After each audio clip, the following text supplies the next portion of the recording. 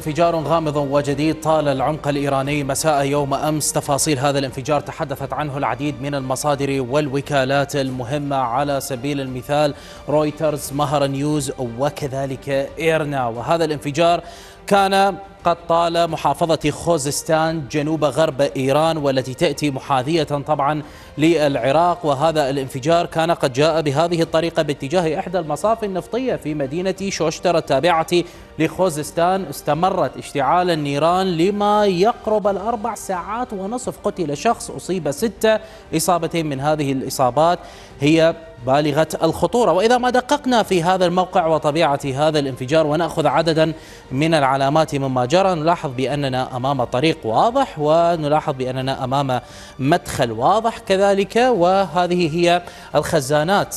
الخاصة بالوقود كما نلاحظ الخزان الثالث هو الذي تشتعل عنده هذه النيران وكذلك نلاحظ من لقطة أخرى إلى الشمال بأننا أمام شجرة واضحة وهذه هي خزانات ثلاثة ستعطينا تأكيدا حول هذا الموقع. إذا ما اتجهنا بسرعة إلى القمر الصناعي باتجاه محافظة خوزستان وتحديدا باتجاه مدينة شوشتر. هذه هي مدينة شوشتر وإلى شمالها تقريبا المنطقة الصناعية. وفي المنطقة الصناعية هذه هي المصفات نتجه إلى اليمين مع الهبوط إلى الأرض وهذه هي المنطقة بالضبط التي كانت قد اشتعلت فيها النيران وجرى ما جرى.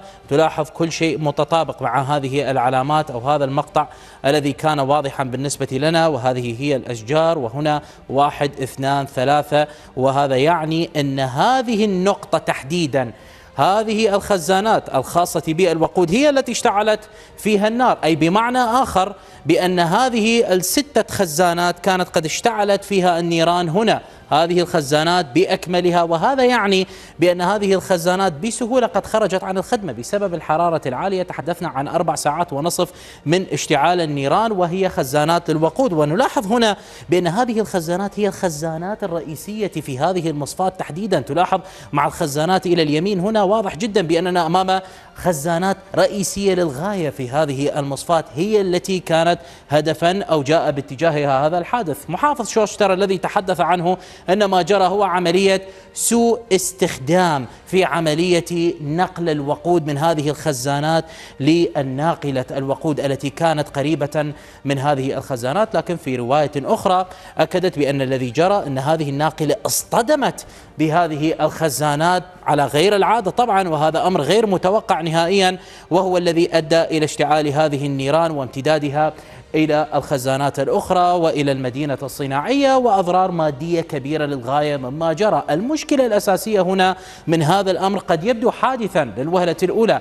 لكن توقيت هذا الانفجار التوقيت يأتي بعد تقريبا أسبوعين من الهجوم الصاروخي الإيراني الكبير الذي طال إسرائيل ب 200 صاروخ تقريبا بالإضافة إلى أننا نتحدث عن مصفات للنفط والكثير من التقارير تحدثت بأن إحدى الأهداف الإسرائيلية ستكون هي المنشآت النووية والمصافي النفطية على الرغم من أن بنيامين نتنياهو كما نقلت الواشنطن بوست الأمريكية أبلغ إدارة بايدن بأنه لن يستهدف المنشآت النووية أو المصافي النفطية لكنه هنا يتحدث عن الضربات العسكرية المباشرة والواضحة والمصرح بها من قبل إسرائيل وهو لا يتحدث عن ما ممكن أن يقوم به الموساد الإسرائيلي. كذلك أن خوزستان ليست بالغريبة أبدا على الموساد الإسرائيلي. في عام 2022 على سبيل المثال وزارة الأمن الإيرانية تحدثت عن شبكة تابعة للموساد الإسرائيلي في خوزستان ألقوا القبض عليها واعترفت هذه المجموعة كما تحدثت إيران بأنهم ينفذون عمليات لصالح الموساد الإسرائيلي. كذلك أن هذا الانفجار يأتي بعد أربعة أيام فقط من انفجار كبير وغامض آخر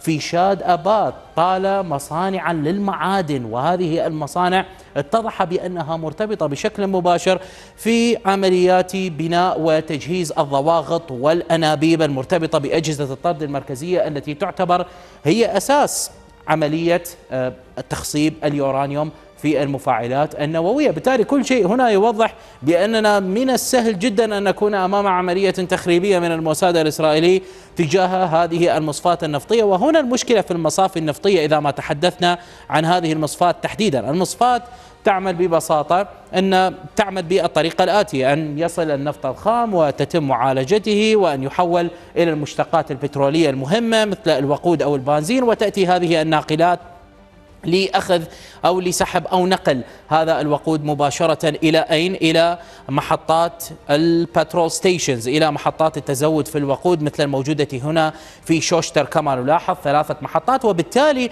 أن تضرب هذه النقطة تحديدا وأن تشتعل فيها النيران يعني ضغطا أكبر على المنشآت أو المصافي النفطية الأخرى وهذا هو الذي يسبب طبعا مشكلة للمواطن الإيراني بالدرجة الأساس طبعا وأيضا يضغط على الحكومة الإيرانية تشتعل فيها التظاهرات وبالتالي هذا أمر صعب للغاية. والمشكلة فيما يتعلق بإسرائيل رغم أنها أعطت ضمانات فيما يتعلق باستهداف المنشآت النووية أو حتى المنشآت النفطية إلا أن إدارة بايدن وكما نقلت الأسوشيتد بريس اليوم كانت قد أكدت بأن رغم هذه الضمانات إلا أن السجل مع إسرائيل يؤكد بأن إسرائيل لا تلتزم بهذه الوعود وهي عادة تخلف هذه الوعود وتخرج عن الوعود وتقوم باستهداف الأهداف التي تبحث عنها. وأمي خايشتاين وهو أحد المراسلين في قناة كان العبرية كان قد تحدث خلال ال 24 ساعة الماضية بأن إسرائيل أبلغت إدارة بايدن بالأهداف بشكل عام لكنها لم تكشف عن التفاصيل بدقة للجانب الأمريكي. وبالتالي الولايات المتحدة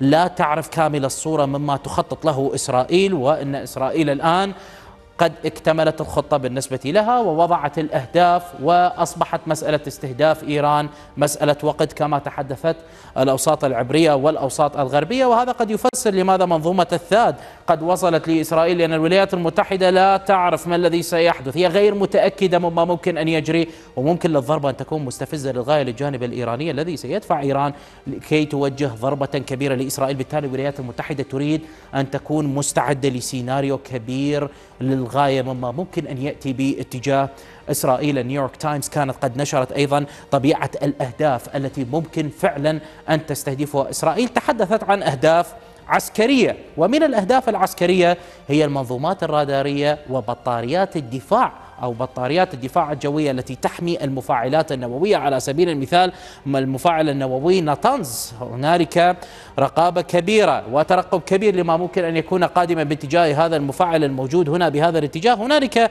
عدد من المنظومات الرادارية التي تحمي هذا المفاعل في أصفهان وكذلك إلى الغرب باتجاه مفاعل أراك للمياه الثقيلة. وكذلك أن هنالك منظومات رادارية أخرى قريبة أساسا وفي نفس منطقة مفاعل نطانز على سبيل المثال إذا ما اتجهنا الآن إلى مفاعل أراك المفاعل الذي يأتي باتجاه العراق هنالك نقطتين للرادارات مهمة. هذا هو مفاعل أراك للمياه الثقيلة. سنلاحظ هنا بشكل واضح بأننا أمام نقطتين. النقطة الأولى هي تأتي إلى شمال هذا المفاعل. هذه نقطة رادارية رئيسية مرتبطة بأصفهان. ترسل الإشارات لأصفهان مباشرة في حالة أي اختراق. ستلاحظ هنا هذا هو هذه هي النقطة الرادارية تحديدا التي نراها وتلاحظ بأن هنالك العديد من المنظومات الدفاعية مثل الاس 200 وكذلك بعض التقارير تحدثت أن خرداد المنظومة الدفاعية الإيرانية موجودة هنا وهذا هو مدخل تحت الأرض للقيادة لهذه الرادارات على مسافة 10 كيلومترات. أيضا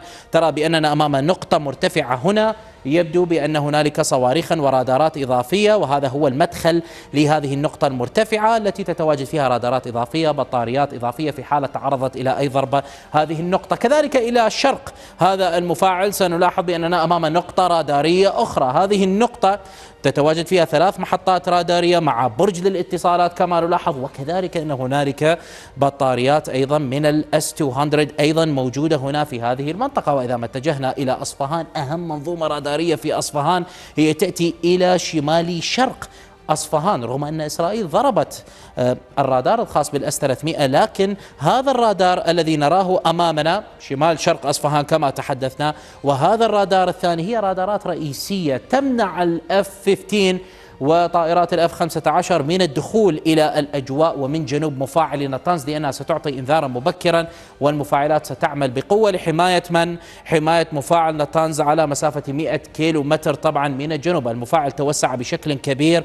باتجاه هذه المنطقة المرتفعة ولكن أيضا نقطتين رادارية أخرى ومخابئ أخرى موجودة في هذه النقطة نأخذ صورة واضحة بالقمر الصناعي. ستلاحظ بأننا أمام مخبئين تحت الأرض هنا. كل النقاط التي رأيناها فيها مخابئ تحت الجبال وتحت المرتفعات. هذه مخبئين كما نلاحظ وهي لتوفر عملية إدارة والسيطرة على المنظومة الرادارية. صورة أوضح توضح أن هنالك تغيرا لطبيعة تواجد هذا الرادار. نقطة أخرى أيضا سنلاحظ بأنها أيضا فيها الكثير من المخابئ ومنظومات دفاعية موجودة. خمس مخابئ هي الموجودة في هذه النقطة تحديدا. مفاعل نطنز لوحده آه، يتواجد حول هذا المفاعل تقريبا خمسين مخبأ إسرائيل قد تبحث عن عملية استهداف هذه المخابئ وإسرائيل بطبيعة الحال هي بحاجة إلى قنابل على الأقل القنابل التي تستخدمها لضرب هذه المخابئ.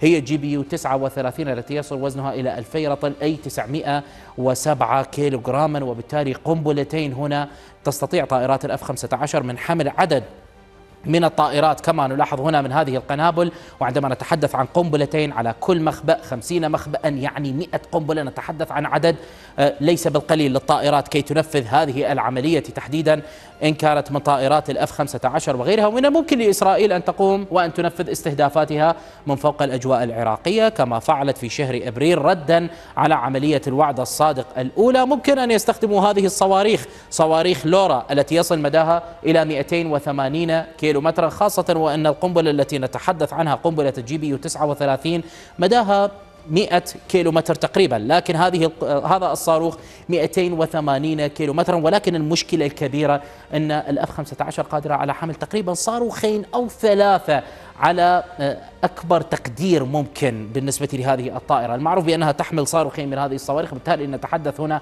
عن خمسين مخبأ. نتحدث عن ما يقرب المئة صاروخ من هذه الصواريخ. وبالتالي نتحدث عن خمسين طائرة من طائرات الأف 15 يجب أن تحلق فوق الأجواء العراقية لكي تنفذ هذه الضربات. ستكون الأجواء العراقية طبعا منشغلة بهذه الطائرات كي تنفذ هذه الضربات على هذه المخابئ دون اختراق الأجواء الخاصة طبعا بالجانب الإيراني. أي باختصار شديد للغاية أن إسرائيل فعلا قد لا تضرب المنشآت النووية أو حتى المنشآت النفطية ولكن الأساس من هذه الضربات كما تشير نيويورك تايمز وعدد من المصادر أن المنظومات الرادارية وكذلك البطاريات الدفاعية والإحتياطية حتى من الرادارات وهذه البطاريات قد تكون هدفا واضحا من قبل الجانب الإسرائيلي بأن تحقق مثل هذه الاستهدافات. إن اخترقت الأجواء الإيرانية أو لم تخترق الأجواء الإيرانية بضرب الرادارات أولا وتخترق الطائرات وتحقق الضربات أو ضربات كلها من بعيد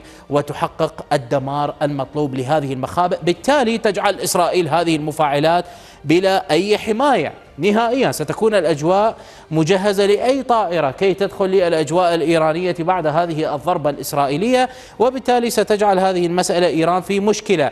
أما أن ترد وأن تعرض آه، هذه المفاعلات للخطر وللدمار وأن تخسر أموالا كبيرة وجهدا كبيرا لسنين طوال بالنسبة لإيران لإنشاء هذه المفاعلات أو أنها تمتص هذه الضربة كون أن هذه المفاعلات أصبحت بخطر وتنتهي الجولة عند هذا الحد. بالتالي مرشح جدا أن إسرائيل تنفذ مثل هذه الضربات في نهاية المطاف لكن الانفجارات الغامضة عادت.